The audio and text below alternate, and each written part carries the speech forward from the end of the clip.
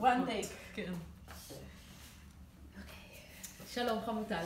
שלום שירה, רציתי לספר לך על מסעדת פינאטי, מסעדה חמודה בירושלים, אני מקווה שזה בסדר הפרסומת והכל.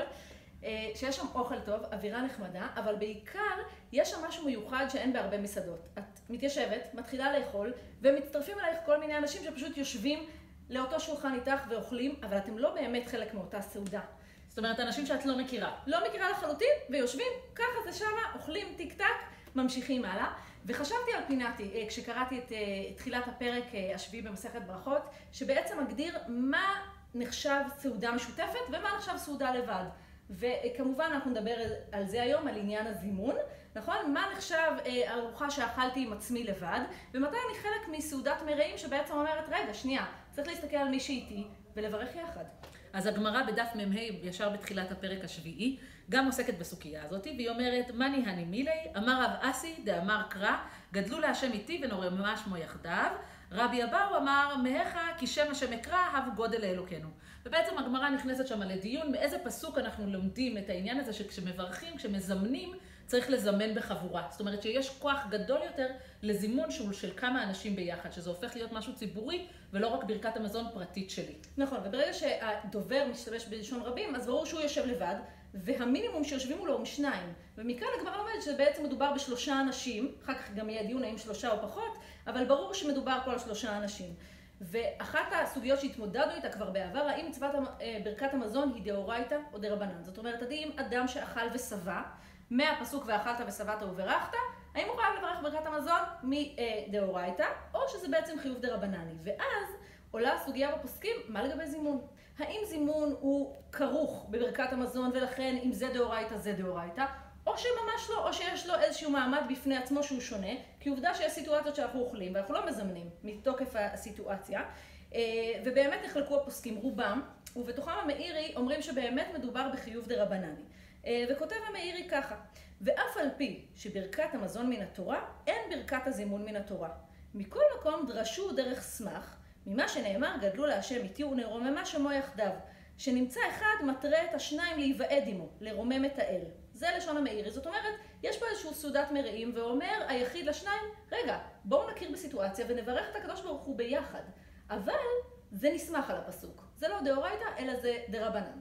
בשונה מהמאירי, אה, הרייבד חושב שזה דאורייתא ממש, גם הטור פוסק ככה, וגם החזון איש. והרייבד אומר, דומה לברכת הזימון, שאף על פי שהיא מן התורה, אין בה לא שם ולא מלכות. זאת אומרת, הוא אומר, למרות שברכת הזימון היא ברכת דאורייתא, למרות שהיינו יכולים לחשוב שהיא ברכת דרבנן כי אין בה שם ומלכות, אני אומר לכם שבכל זאת היא נלמדת מדאורייתא. זאת אומרת, החשיבות שלה היא, היא גדולה והיא חמורה יותר. שזה גם מה שמאוד יפה שמסביר את הרצון בגמרא כל הזמן לשתף אנשים פנימה.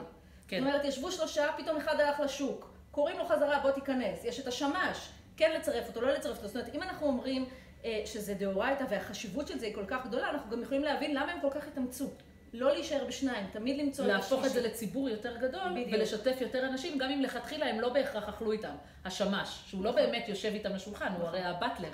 כן. אבל, אה, אבל ברגע שזה עניין שאתה תופס אותו כדאורייתא, אתה כן רוצה לשתף יותר אנשים במצווה הזאת. נכון, זה מאוד uh, מעניין. ודווקא uh, רציתי uh, לשתף את, ה, את הדעה של הפרי מגדים, שהיא ככה משהו מאוד מעניין באמצע. לא כמו הדעות שאמרנו דה רבנן והדעות שאמרנו דאורייתא. הפרי מגדים אומר, ברמת הזימון, שלושה אנשים שיושבים לברך יחד, זה דה רבנן. אבל ברגע שמגיעים לעשרה בני אדם, וכמובן מוסיפים את שם השם, נברך לאלוהינו שאכלנו משלו, זה כבר דאורייתא. שזה מעניין, בגלל שהוא אומר, בקטן זה עוד לא ציבור ממש, ואני לא יכול להגיד שזה חיוב דאורייתא לשבת אה, שלושה אנשים ולברך, כשזה עשרה זה כבר רוב עם, וזה כבר משהו אחר. זה גם יפה שהוא לא בעצם מכריע בין המאירי נכון. לבין הרייבד, אלא הוא מוצא איזושהי דרך אמצע להתחשב בדעת שניהם. אבל השאלה שאנחנו שואלים גם זה, מתי חבורה באמת הופכת להיות חבורה. זאת אומרת, האם שניים או שלושה אנשים, מה ההבדל ביניהם? מה ההבדל הגדול בין שני אנשים לבין שלושה אנשים, שפתאום אתה מתחייב בזה שאתה ציבור. אני כאילו... חושבת שיש גם עניין במספריות של זה. ששניים, יש בהם משהו מאוד מאוד אינטימי, ושלושה, זה, זה משנה את הדינמיקה. זאת אומרת, שמתיישב בן אדם שלישי עם שני אנשים, פתאום, רגע, הם יכולים להתחלק לשניים ואחד, והם יכולים להיות שתי חבורות, יש פה כבר משהו יותר גדול. כי הגמרא גם אומרת, שניים ש... ש... שבירכו כאחד, זאת אומרת, כשאתה במצב של שניים, זה יכול להיות אשתו כגופו. זאת אומרת, זה יכול להיות שניים שיש ביניהם כזאת דרגה של אינטימיות, נכון. שהם מברכים כאחד, וכשזה שלוש, זה כבר מפר את האיזון הזה של הזוגי, נכון. וזה הופך להיות משהו שהוא יותר ציבור, כן. וגם הגמרא מתייחסת לזה. והגמרא אומרת, אמ, שניים שאכלו כאחד, פליגי רב, רב ורבי יוחנן. אחד אמר, אם רצו לזמן, מזמנים. אחד אמר, אם רצו לזמן, אין מזמנים. תנן, שלושה שאכלו כאחת, חייבים לזמן. שלושה, אין, שניים, לא. זאת אומרת, הגמרא שם נכנסת אחר כך לדיון מה דעת רב ומה דעת רבי יוחנן, זה פחות רלוונטי לנו עכשיו, אבל מה שכן חשוב זה שהם בעצם מדברים על הסוגיה של מה ההבדל בין שניים לבין שלושה. האם שניים גם מחויבים בזימון, או רק מרגע שהם ציבור של שלושה, רק אז הם מתחייבים בזימון. ואם שניים, כשהם נמצאים כשניים, האם אסור להם לזמן, או שהם לא חייבים, אבל מותר להם. זאת אומרת, האם זה פטור או מותר, או פטור ואסור. וזה בעצם מה שהגמרא מדברת עליו בדף הזה ובדפים הבאים. ואני חושבת שעצם העניין להגיד, כשאני יושב לבד עם עצמי, אז אני מברך, או אני מברכת, בוודאי.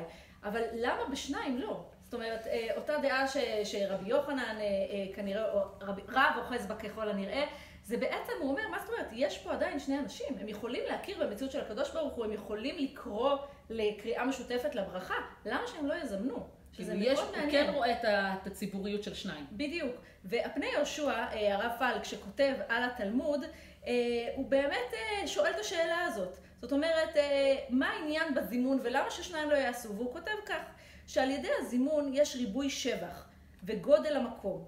משום הכי סבר רב שאם רצו רשאים לזמן, ואפילו שכרו לא הפסיד, כיוון לדידיה אין צד איסור בשניים, לומר נברך. כן נראה לי. הוא אומר, אני, אני נותן להם את המקום הזה, שאם גם בשניים הם רוצים לבצע הזמנה לברכת המזון, תפדלו. כאילו, אבל זה, אבל זה, זה לא חובה. כן. כאילו הוא אומר, זה לא חובה, אבל הם, הם רשאים בגלל שהם שניים. נכון. ולמרות זאת עדיין בתודעה שלנו, ובאמת אה, כפי שפוסקים היום, שלושה. שלושה. זה היחידה המינימלית לזימון, שזה מאוד מעניין, אבל uh, הפני יהושע זה מאוד, uh, מאוד יפה בעיניי. האין היה של הרב קוק, הוא מוסיף פה רובד uh, בעיניי נורא נורא יפה, שהוא אומר, דווקא בארוחה, שזה הדבר, שיא הגשמי שיכול להיות, כן? זה, אתה יוצא מבית המדרש, אתה סיימת ללמוד, אתה הולך לאכול ולשתות, כאילו... בהפסק גמור ללימוד שלך, או בהיפוך שונה מהלימוד שלך או מהתפילה שלך, אתה מתעסק בשיא הגשמיות, ודווקא זה המקום לרומם את הגשמיות לברכה. לכן הוא כותב, על כן, לבסס את רעות הבאה על ידי השאיפות הגשמיות באופנם הטוב, הקיים, הרצוי, יש הכרח ויחס מחויב לרומם הרעיון, בהבנת תכלית היותר עליונה של יסוד המדיניות והקיבוץ האנושי, שניכר בולט במילואו בהודות להשם על חסדו, וייצא בפועל פרטי על ידי שלושה שאכלו כאחד, שחייבים לזמן. אז הוא אומר, איזה יופי, בעצם יש כוח לציבור לרומם את הגשמיות הזאת, גם כשאתה נמצא במקום לכאורה הכי גשמי, שאתה יכול לעשות את הפעולה הכי חסרת משמעות מבחינה רוחנית, הוא אומר, זה הכוח של הציבור ביחד. תחבר את עצמך לעוד אנשים, תהפכו להיות חבורה, וכשאתם הופכים להיות חבורה, זה המקום שלכם לרומם את שמו של הקדוש ברוך הוא. זה המקום שלכם לבוא ולהגיד, אנחנו עושים פה משהו שלמרות שהוא גשמי, גם לתוכו אנחנו מכניסים את הרוחניות, ובעצם מרימים את כל, ה, את כל הסיטואציה הזאת לסיטואציה בעלת רובד ומשמעות של להודות לקדוש ברוך הוא על הזימון הזה, על הברכה. אני חושבת שהרב קוק גם רומז פה בעצם לכל מיני תרבויות אחרות שעושות הפרדות מאוד ברורות בין מה שקודש למה שחול, כן. בין אה, לרומם את הנפש ולהנמיך את הגוף. והרב קוק אומר, הכל ביחד. זאת אומרת, אין שום דבר רע אה, בלאכול. ב- בלאכול. ואני חושבת שמהדהד לנו כאן הסיפור הזה של השלושה, אה, שלושה שישבו כאחד חייבים להגיד אה, דברי תורה על השולחן. הוא אומר, אין, אין לי הפרדה, אין לי מחוזות, עכשיו אני בבית מדרש, אני בקודש, אחר כך אני הולך לאכול, אני, בחול. הרב קוק אומר, לא, על ידי, דווקא בברכה, שבו ביחד. ותברכו, וכל הזמן תהיו בתוך הקודש, כל הזמן תזמינו את הקודש שלכם. תרוממו את המציאות. בדיוק, ואל תעשו הפרדות. אין, אין מחיצות, אלא הכל, כן. הכל הוא חלק מאותו מקום. אה, וזה מקסים, כי אף אחד לא צריך להרגיש רע עם האכילה, או שהוא במקום... או שהוא מדחיק את הגשמיות שלו החוצה. בדיוק. להפך, אתה מאמץ את הגשמיות הזאת ומרומם אותה משם, מהנקודה הזאת. ממש. עכשיו, אה, לא יכולנו לקרוא את אה, פרק שביעי של ברכות ולא להתייחס לנקודה הנשית. כן. אה, כי זה מאוד מאוד בולט, וגם הגמרא בעצמה שואלת מתייחסת. מה קורה עם הנשים, האם הן מזמנות לעצמם, האם הן מצטרפות, כל הסוגיה הזאת היא מאוד מאוד אה, אה, חשובה, ואני חושבת שהדבר המשמעותי להגיד כאן, שמציאות האכילה בימי התלמוד והגמרא לא הייתה כמו שלנו. זאת אומרת, באמת לא ישבו לאכול ביחד. הגברים והנשים לא ישבו באותו מרחב, לא ישבו על אותו שולחן. ואני חושבת שבאמת היה קשה להם לדמיין סיטואציה שמברכים יחד, כי הם פשוט לא, לא חלקו לא את הארוחה. בדיוק. מבחינתם נשים ישבו עם העבדים, ולכן הדיון הוא רק על נשים ועבדים. כי זה היה בחדר נפרד בכלל. בדיוק. והגברים, והגברים... ישבו במרחב המרכזי בסלון, ולכן צריך להגיד את זה לפני שנכנסים פה לדיון, ועדיין אה, צריך להתמודד עם, אה, עם המורכבות שקיימת בגמרא לגבי זימון נשים. אז יש שלוש נקודות שאנחנו רוצות להתייחס אליהן, שלוש דברים שהגמרא מתמודדת איתם, ובראשונים, ורצינו להעלות אותם ולנסות לענות עליהם בקצרה. אז הנקודה הראשונה שהגמרא מתייחסת אליה, זה הנקודה של פריצות. שחלילה כשיבואו אנשים וגברים לשבת ולאכול ביחד, האם תהיה פה איזושהי סיטואציה של פריצות, כמו שהם פחדו מפריצות אם הנשים והעבדים ישבו ביחד, ברגע שהן מזמנות ביחד, יש כאן סיטואציה שאנחנו רוצים להימנע ממנה, אנחנו לא רוצים לעודד אותה. זו הסוגיה הראשונה. לא בין אנשים, בין אנשים לעבדים, ושם הדיון. שהם לא מדברים על סיטואציה של נשים וגברים, נכון. אלא הם מדברים על הנשים והעבדים, ששם יכול להיות עניין של פריצות, ומזה הם מנסים להימנע. נכון. הסוגיה השנייה, שאותה רש"י מדבר עליה, זה הסוגיה של הנוסח. זאת אומרת, בברכת המזון אנחנו מדברים על ארץ שאני אגיד לכם במדויק, על, על, שהנחלת לאבותינו, על ארץ שהנחלת לאבותינו, על בריתך שחתמת בבשרנו, אומר רש"י, אתם לא יכולות להגיד את זה, נשים לא, לא יורשות נחלה, נשים אין להן ברית שאנחנו עושים בגופנו, ולכן בעצם וגם הנוסח... וגם אלימות תורה. וגם אלימות תורה. בעצם הנוסח הוא לא נוסח שמדויק לנשים. הנוסח של ברכת המזון, אומר רש"י, בעייתי לנשים להגיד אותו, כי הוא לא נכון לגביהם. אישה לא יכולה להגיד על בריתך שחתמת בבשרנו. והדבר השלישי שהשולחן ערוך מתייחס אליו, גם השולחן ערוך מתייחס אליו, זה הספק של החיוב. האם אישה יכולה להוציא ידי חובה? זאת אומרת, האם נשים חייבות בדאורייתא או בדרבנן? והוא מתייחס למחלוקת הזאת. נכון. אז, אז בואו בוא נדבר שנייה על הפריצות. הרב נתנזון פשוט אה, שואל ומשיב, בעצם מתייחס להשתנות הסיטואציה, וזה מדהים, הוא כותב לפני 150 שנה, אה, והוא כותב כך: נשים עם אנשים לא שייך פריצותא. ובמסיבה איש עם בני ביתו, הם יושבים עם נשותיהם ועבדיהם, ואיך שייך פריצות החס ושלום. הוא אומר, ברגע שהסיטואציה היא שכולם יושבים לאכול ביחד, ברוך השם אין פריצות. זאת אומרת, אנחנו יושבים בארוחות משפחתיות, גברים ונשים, ואיך נוכל לא לברך יחד? כי ככה אנחנו יושבים לאכול. בשונה ממה שהיה אה, בימי אה, רב ורבי יוחנן, אה, שבאמת לא דמיינו את הסיטואציה, אז הוא אומר, ברוך השם אין לנו פריצות, אנחנו יושבים בארוחות משפחתיות, ואנחנו צריכים לתת את הדעת דווקא על זה ש... שאוכלים ביחד, ולכן בדיוק. מזמנים ביחד. הראש, לגבי שאלת הנוסח שמעלה רש"י, הראש עונה לזה בצורה מאוד יפה, והוא אומר, בעצם אם יש בעיית נוסח לנשים, יש גם בעיית נוסח לכהנים, ללוויים. גם הכהנים והלוויים בעם ישראל לא יורשים את הנחלה, ואיך הם יכולים לברך את ברכת המזון? שואל שם רש"י, שואל הראש על רש"י.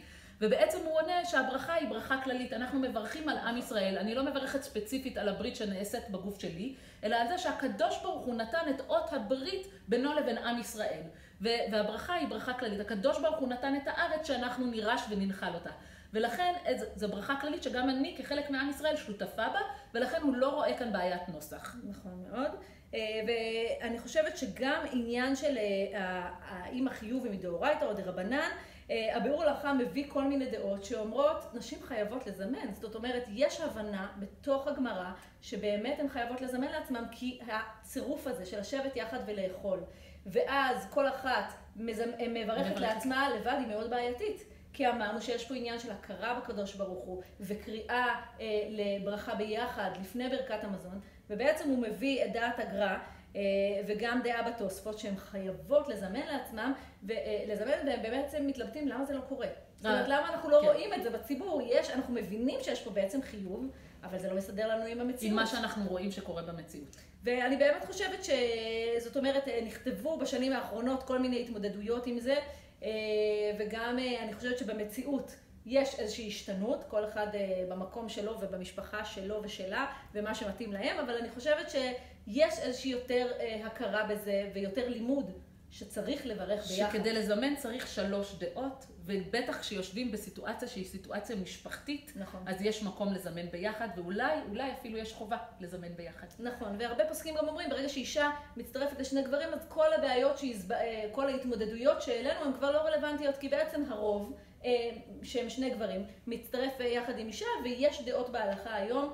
אה, שאפשר לזמן וכל אחד ינהג כפי מקומו וכפי הדבר הראוי והמתאים לו.